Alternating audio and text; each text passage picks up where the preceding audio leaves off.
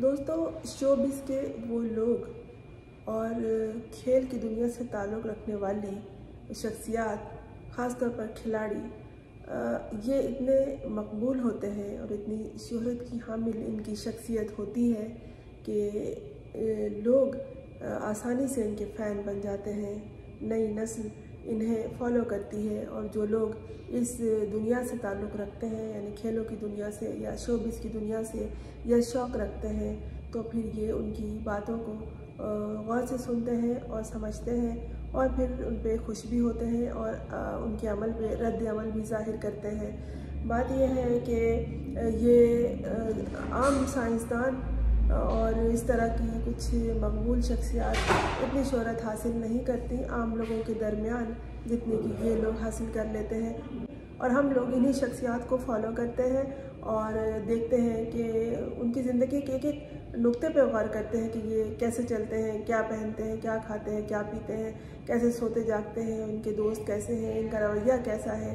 और क्योंकि जो आम जहन के लोग हैं, वो आवाम जिन्हें कहते हैं, वो इनसे दिलचस्पी रखते हैं और इनको कहते हैं कि ये हमारे करीब हैं, हम इन्हें पसंद करते हैं तो हम इनकी हर चीज़ पर तवज्जो देते हैं और इनमें दिलचस्पी रखते हैं। इसी तरह उनके जो बात होती है, उनको भी अहमियत देते हैं। हमारे यहाँ एक अदाकारा है, सोनिया हुसैन, मॉडल है। इन्हें लोग बहुत पसंद करते हैं, इन्हें लड़कियाँ फॉलो करती हैं, इनके स्टाइल को देखती हैं। इन्होंने गुज्त दिनों एक बात कही कि मोहब्बत दूसरी बार भी हो सकती है ये इनका नुक़ नज़र है। कुछ अरसे पहले, तकरीबन छः साल पहले उन्होंने ये बात कही थी कि मोहब्बत बस एक बार ही होती है। अब इन्होंने ये कही कि नहीं, मोहब्बत दूसरी बार भी हो सकती है, बल्कि कई बार भी हो सकती है। बात यह है कि जो शायरों ने कहा है कि बस एक मोहब्बत काफ़ी है, बाकी उम्र अजाफ़ी है।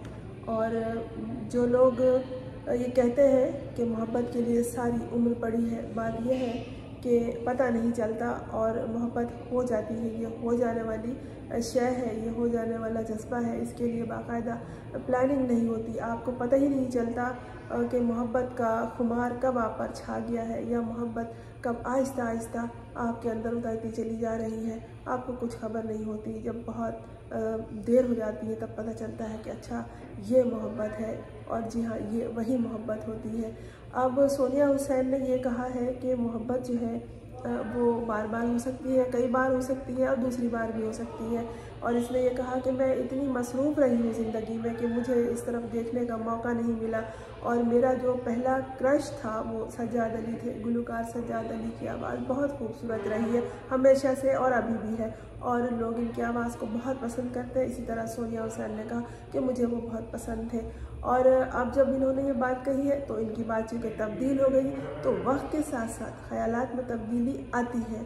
उम्र बढ़ने के साथ साथ भी ख्याल में तब्दीली आती है और हमारे ख्याल तब्दील हो जाते हैं। फिर इसके अलावा ये कि जो हमारे हालात होते हैं हम जिस हालात से गुजर रहे होते हैं इसके बाद भी आ, हमारे ख्याल और हमारे रवैये में तब्दीली आ जाती है। इसका मतलब ये नहीं है कि अगर किसी के साथ कुछ बुरा हुआ तो वो कहे कि नहीं भाई मोहब्बत तो कुछ नहीं है। लेकिन आ, मेरे एक टीचर थे उर्दू के मैट्रिक में वो कहा करते थे ए, उनका अपना शेर था कि मोहब्बत कुछ नहीं एक जज्ब रंगीन है दिल का। मोहब्बत कुछ नहीं एक जज्ब रंगीन है दिल का।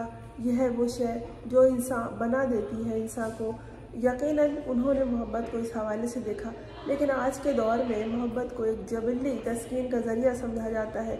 और कुछ लोग ऐसे भी हैं जो दूसरों की, जो मुखलिस लोग होते हैं, जो बहुत सादा और मासूम लोग होते हैं, इन्हीं के अंदर मोहब्बत उतरती है। यही दूसरों की मोहब्बत को महसूस करते हैं। ये मोहब्बत पेड़ पौधों से, जानवरों से, इंसानों से भी हो सकती है, हर किसी से भी हो सकती है। आपको अपने पुराने घर से भी हो सकती है, आपको अपने कारोबार से भी हो सकती है, किसी से भी हो सकती है, आपको अपने शौक़ से भी हो सकती है, जो आपका पेशा है, जिस, जो आपका शौक़ है, उससे भी हो सकती है। लेकिन जो इंसानों की मोहब्बत है, जो सोनिया हुसैन ने कहा, वो इंसानों की मोहब्बत का तस्करा किया। उन्होंने कहा कि नहीं, जो लोग कहते हैं, बस मोहब्बत एक बार ही होती है। जी नहीं, उनके ख्याल में, सोनिया हुसैन के ख्याल में मोहब्बत बार बार हो जाती है। लेकिन जिन लोगों के अंदर ये जज्बा उतरता है, जो लोग इसे महसूस करते हैं, जो मोहब्बत की अहमियत को, इसकी सादगी को, इसकी ख़ासियत को समझते हैं, वही समझते हैं कि मोहब्बत क्या होती है हर किसी के लिए, अपने अपने ख्याल के हिसाब से, अपनी अपनी मर्ज़ी के, पसंद के और ज़रूरत के हिसाब से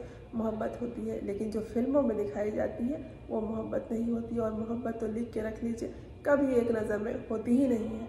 जो मोहब्बत हो जाए एक नज़र में, वो मोहब्बत नहीं है। वो कुछ और है। क्या ख्याल है आपका इस बारे में? मैं हूँ फरजाना रूही असलम।